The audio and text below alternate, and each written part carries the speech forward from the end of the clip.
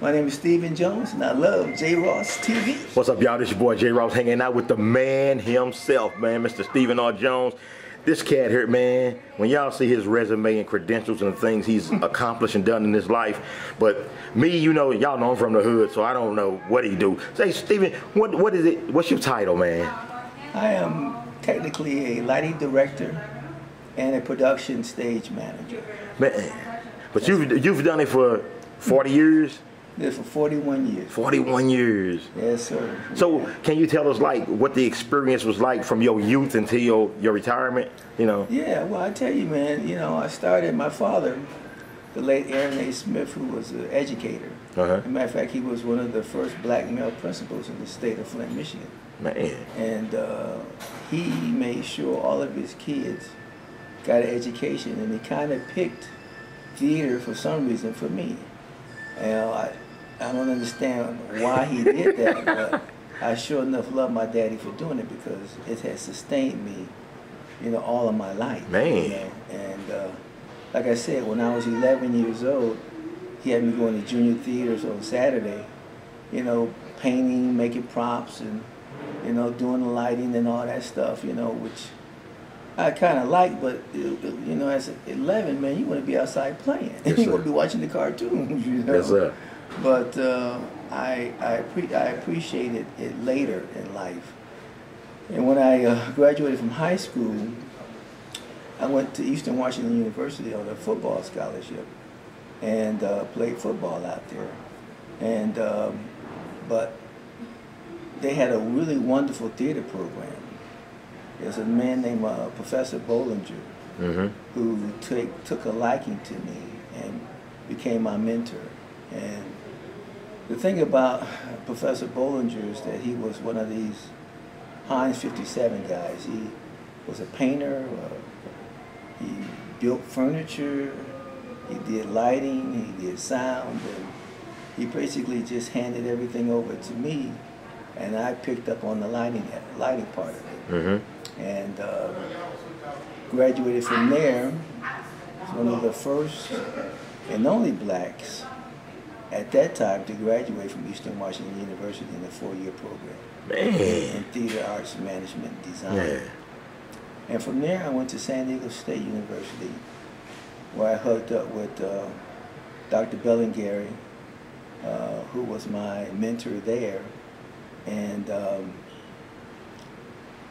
I, it was just one of those things, you know, that God does for you, you know, He puts you in places, you know. And um, Dr. Bellingary was my savior there. I mean, he got me through that uh, two and a half year program because there was no blacks in that program. and the treatment that I was getting from the department wasn't fair. You know, they uh, we had a graduate lab that uh, we were supposed to use as graduate students, and I'm a graduate student. Head of the department came by, Dr. Pyle, and asked me why was I in the graduate lab working. And I said, well, it's the graduate lab is where he says, yes, you're a graduate student, but you're a graduate student and your assistantship is in dance, the theater next door. So you shouldn't be in this room working, doing anything. He says, give me your keys. And I gave him my keys and I left. And really hurt and disappointed. I called my dad. I said, Dad, you know, I don't know what's going on here, but, you know, these people ain't treating me right. He said, what do you need? I said, I need a drafting table. I need to be able to do my work, you know, because we're drawing designs and, you know, to scale. And, you know, I need a drafting table. And so my father said, don't worry, son. Call me tomorrow. So I called my father the next day. He said, go downtown to this drafting store. I called them already. They'll be looking for you. Pick out what you need, and they'll deliver it to the house. So I have my own drafting, Mutoh drafting Japanese table in my crib. Yeah.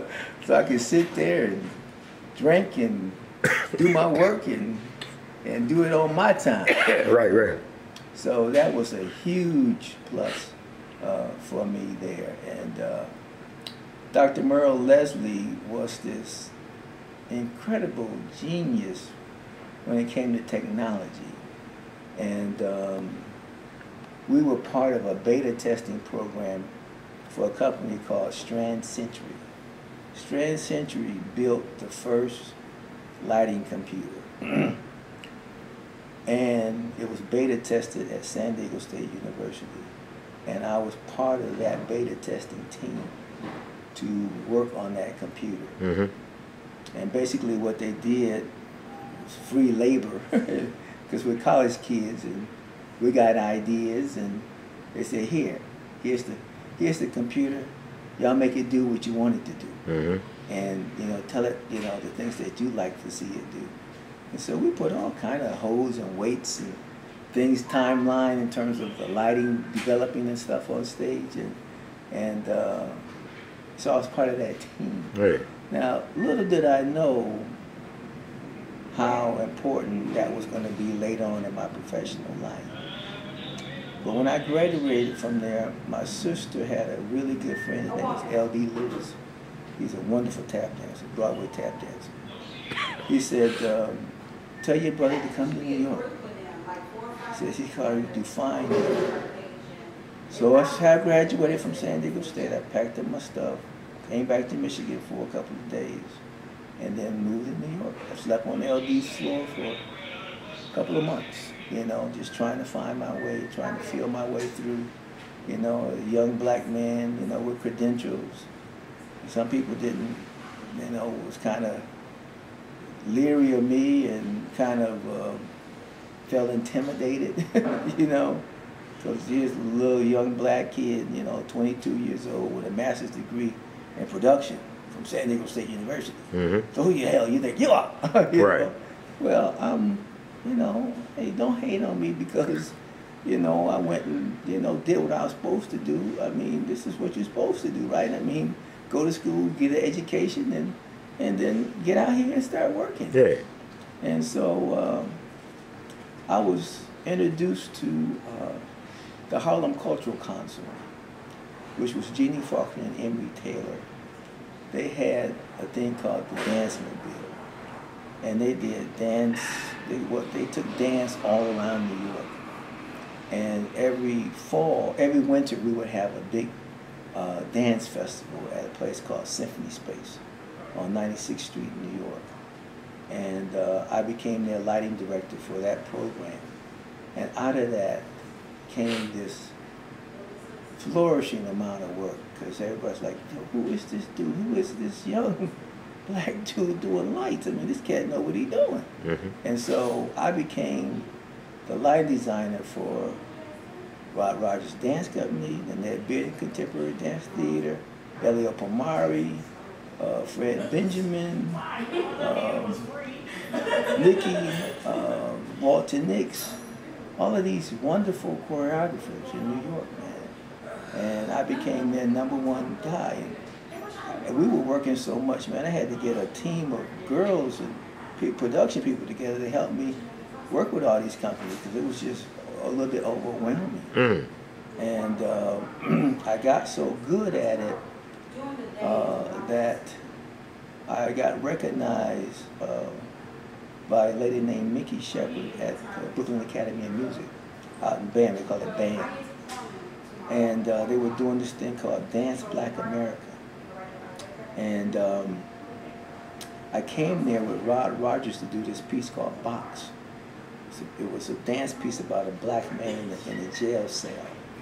And I created this white light jail cell with these bars in it for him to dance into. And it was really, really cool, man. You know? and so this is this is the hook. So I come in there with Rod Rogers. I go upstairs to the lighting console. I tell the guy, you know, because everybody brought their own designer. It's like about 30 different dancers. So I was Rod's, Rod's designer. And so he says, look, uh, son, we get ready to go on break. Um, here's the manual to the board. When I come back, we'll program it. And I said, okay. And so he left, went to lunch, came back an hour later. He says, okay, son, did you read a little bit? Do you understand anything?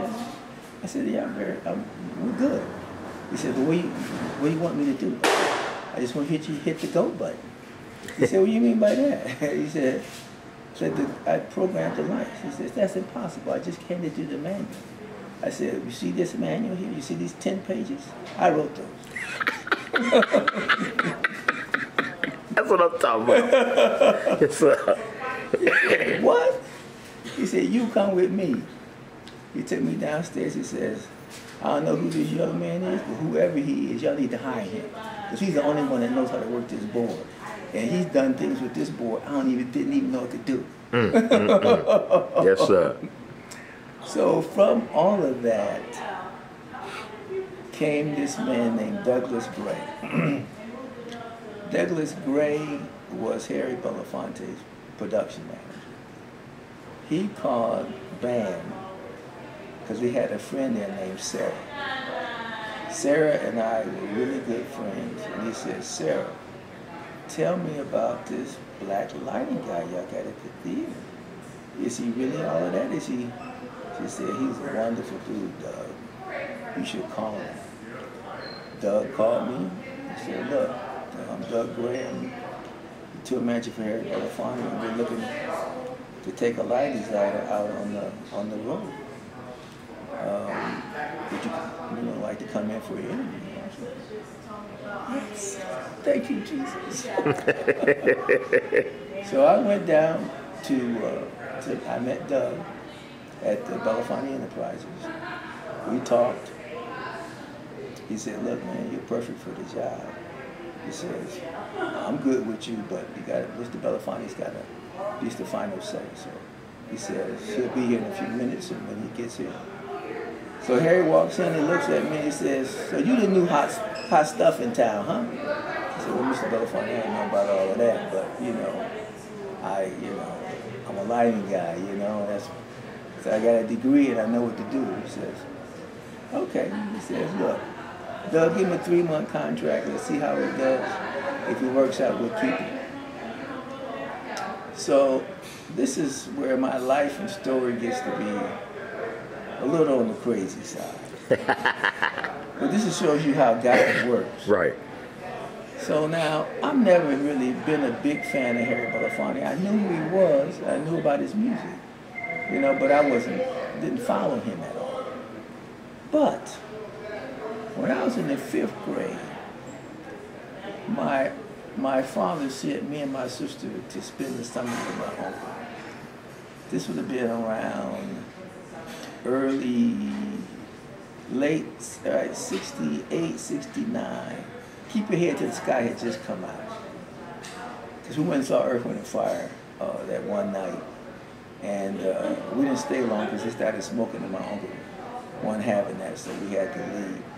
Two nights later, he says, put on your dress clothes. We're going to Heinz Hall, which is a very you know, prestigious theater in, in Pittsburgh, Pennsylvania. Heinz, the Heinz family. It's Mhm. Heinz Ketchup. Right. So I said, well, who are we going to see? He said, we're going to go see Harry Belafonte. Harry Belafonte, who is he? so here I am in the fifth grade, got my little suit and tie on, going to go see Harry Belafonte. And I tell you, man, when they started singing those songs and, and uh, especially Hole in the Bucket, you know, I fell right in. I said, oh man, this dude, I like this guy, you know. So fast forward to me going in 1968 to see Harry Belafonte. 1979, I'm graduating from Eastern Washington University. Uh, my family is so excited. Everybody flies out to Washington. We had a big family gathering. We did the graduation, and the next day, my father had a big dinner party for me. And he says, after the dinner party, we're going to go to the Opera House in Spokane. We're going to go see a show. I said, who the go see that? Harry Belafonte. like, Harry Belafonte? so here I am at the Opera House, where I also uh, did, did my intern stuff at, when I was at Eastern Washington University. And uh, and we saw the show, man, and it was cool.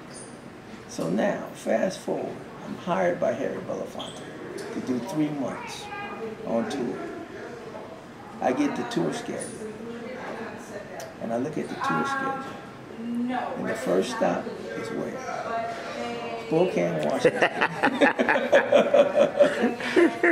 like Steve, when you design those lights and you you doing it uh, this weekend, what does the creativity part inside of your mind come from? Is it like you just pull stuff out you've seen on TV back when you were growing up, or you can see colors now and and you can incorporate it into your light design? Well, see, that's the magic of the whole thing about theater and creativity you can only draw from what you know and what you have, you know, learned over the years. Uh-huh. You know, I, uh, having had the training that I had, so I, I benefit from two situations. The book school stuff, what the books say, the measurements of light and light level and all of that stuff, and then the practical stuff that you do that you learn and you see, and the mistakes that you make through experience. Yeah, yeah, yeah. So I mean, after 41 years, but so you know what you know what's popping. All I need to do is just tell me what song we're playing, and I got you covered. Yeah. All I need is a few, you know, basic things like I went in. Um, I've been listening to Michael McDonald songs all week, and um, I got the we got the layout of how the band's gonna be on stage. Mm-hmm. And then what I do is I go in and I create band specials so that I can highlight everybody in the band. But then I create all this atmosphere around them. And the thing for me is that you have to know color. And you have to know the science of color. Because certain colors do certain things for people's eyes. And certain colors, you know, represent certain things in people's mind. Mm. So you really have to have had the studying of light and color to to understand what it is that I do. And what I do, I don't think, you know, we got a lot of lighting people out there, but ain't nobody doing it the way that I do it mm-hmm. because I'm doing it from a scientific perspective. Yeah. In terms of, I call sometimes I call myself in another world, an optical, optical, optical engineer, because I'm, I'm, I'm putting information out on the stage. I'm painting pictures on the stage that registers in people's heads and in their minds of what they see. Because color does certain things to your pupils and all of that stuff. And if you didn't study that stuff, Man. You, you don't know. So can color affect your mood? Can you, like when you design in lights, you can affect the person's mood on a particular song? Just just like music can. Mm-hmm. Oh yeah. Yeah, All man. that stuff is is in there, but you know what I try to do is I try to just paint pretty pictures that represent the sound of what the music is saying and, and how it's being played. You know, if it's really high and loud and crazy, then you gotta do some red, amber, and some yellow or something like that. Mm-hmm. If it's subdued and cool and calm and cool down. Maybe I'll do some, some light blue or some midnight blue with a little green streak of green in there. yeah. So like when you watching TV at home, sometimes and see shows, you be like, oh man, that wasn't right. Why they do that? I, sometimes I have a hard time watching these shows. For real. These, all these guys do, they just turn the shit up. They just turn yeah. the lights on, you know. And uh, and it, really doesn't have anything to do with what the song is doing. Yeah. It's, you know, you shouldn't be there's no competition between the lights and the music. It's supposed to really go together. Man, okay. You know, it's a, yes, that's why, you know, when you do your lighting and you do your plots and you do your plans, that you really, you know, have to have things laid out in such a way where, you know, it's measurements. I mean, it really has strategically where the light is and where the light is going to be focused and how the light's going to be focused because you have a series of different lights that do different things. There are over 45, 50, 60 types of lighting instruments, and they all do something different. So you got to find, especially in today's world, now we have all this intelligent lighting that it's great. It's a great tool, but it's so much time consuming because you have to tell the light what to do. To tell it where to go, to tell it what color to be in. You have to tell it the, the lens, the zoom, and how big, how small you want the circle to be. And all that is fine and good, but man, you got to have time. To, it takes time to do that. You Mm. just can't. Hey, okay, let's turn this on. You know, like you used to do with these these regular units. You know, like we're using this weekend. If we had intelligent lighting on this show, I wouldn't have time to talk to you. Like we'd be too busy trying to program everywhere. Mm. But in this case, you know, we got a basic good lighting package in there. Show will look good, and I'll be able to control everything manually. You know, because when you do shows like this, where there's not, it's not a touring show, it's not something that you do every day. You're gonna step in there and you're just gonna do it. You gotta be able to have manual control and feel what you're doing in order to make it work. And that's what I'm really good at. Man. So what's up next for you? What you got? I know you're retired now. You were thinking about coming out and Uh, well, I tell you, uh, me and Brian Owens have a really wonderful relationship. he's a good guy. Yeah, I met him back in New York when he was working on a thing up in at, at the Apollo Theater where I was the uh, production uh, manager there for 15 years. Yes, sir. And I built a space on the third floor called uh, Music Cafe. And we would have every weekend we'd have the young artists come up there in there and you know show us what they have. And he came up one weekend and. What I do with all the groups that come through there, I listen to the sound check, make sure that the levels are right, you know, and uh, and, and get a chance to meet them. And uh, he has such a wonderful voice. I was like, hey man, can you uh, you know any Marvin Gaye? He said, uh, yeah. He said, as a matter of fact, I just came back from Japan doing a whole Marvin Gaye tribute. I said, will you mind singing something that for me? Man, this brother started singing that Marvin Gaye. I said, oh my God, this is the first and only person that I know that comes anywhere near close to what Marvin sounded like. Man. He sounded like a young Marvin, man. And I was just so happy because, you know, Marvin was working with Marvin was was tough, you know, especially in the in the later end of his career, you know, because of the drugs and everything. And uh, it was hard to get him on stage, but once he got on stage, it was hard to get him off the stage.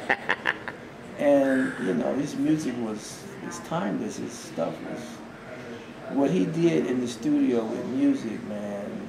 Nobody else has been able to to repeat because he's all that layering of his voice and all those oohs and ahs and, and all of that, man. It's incredible, man. So this, Brian's got it though. Mhm. Brian's got it. And so I'm, I'm happy to be working with him.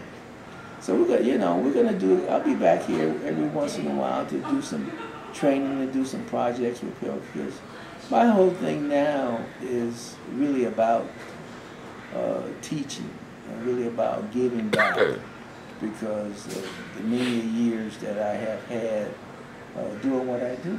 You know, uh, you, you got to give back, especially to these young black men and women who all they know is standing and you know they want to be rappers, they want to be in front. You know, they don't realize the, the lucrative business that it is behind the scenes. Without without the production, you ain't got no show. Right. you know, you can sing all you want to, but if ain't somebody ain't doing the microphone and somebody ain't turning on the lights, man, you ain't got nothing. You Mhm. know, you need a serious production person in order to make your stuff pop. Yeah. Hey, now what's the craziest lighting design you ever, ever had to come up with? I think one of the craziest things I've done is um, I did a uh, I did a Christmas party for um, for um, God, what's the name of that? Oh, it's my age now, folks. It's all good. oh man, what- oh God, why can't I remember this guy's name? He's a famous fashion designer in New York, Oh. and Tommy Hilfiger. Oh, okay. and he had a huge Christmas party. And he had these dancers and he had this music and we utilized all of the Apollo, man. So I just want you to light it up, Jones, and make it look festive. And, and we had balloons, we had confetti cannons going off, man. We had all kind of stuff going on. But when you're working for people like that, and the thing about it is, what I do is expensive. You know, the equipment is expensive. So you got to have some budget, you know, if we're going to work together, because I don't work on the cheap. You Mhm. know, I use real, you know, first class equipment because I don't have time for stuff to be breaking down in the middle of the show. I ain't got time to be trying to fix nobody's mess. hmm So you know, when I order stuff, it comes in right, comes in at a at a at a high number, but you know it's gonna work. Right. You know, and that's the problem with some of these shows out here now, is everybody's trying to do stuff on the cheap. You know, well, can you make it look like this? Well, yeah, but you got to pay for that. you don't get this. You know, you can't get this for you know on the cheap, my man. You know, these lights cost money, and you got to have time. You know, so that's something that people, a lot of people in the industry, you know, don't, don't understand that what we do takes time. Hey, all right. Hey, y'all, just hanging out with Steve, man. We just chilling in the loo, and uh, it's getting a little late. And uh, but man, got so much information, man. He has so much more. You can check him out, and uh, you'll see him. You'll you'll see his work Yeah, Sunday. Sunday. You know, so when you see him, you know, pat him on the back, show him some St. Louis love for doing a great job. This your boy Jay Ross hanging out in St. Louis with my guy Steve Jones, y'all. I'm gonna let y'all bounce. We 10 million strong, and we gone. Peace.